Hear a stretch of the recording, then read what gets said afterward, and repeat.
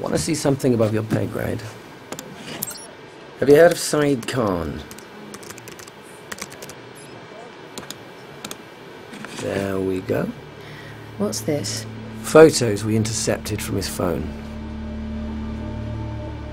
The last photos of the PM alive. Sent by Saeed to his cousin before they took off.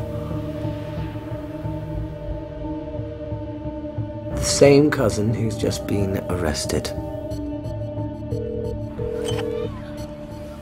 Hello? Can you put me through to Tom Dawkins, please? I'm sorry, the Deputy Prime Minister's not available. And you are who? I'm Mr. Dawkins' private secretary. So he's got time to tell you to tell me, he hasn't got time to talk to me, but not enough time to tell me that himself. You know, you know he won't shag my sister. No, I didn't know that, sir. Shall I, um... Not many people do. He wasn't always the paragon of virtue he is now. Ask his ex-wife. She knows where all the bodies are buried. Nice talking to you, Mr. Fawcett. Is there anything you'd like me to pass on? Um, could you tell him to please go fuck himself with a feather duster? Right. Goodbye, Mr. Fawcett. Tell him to call.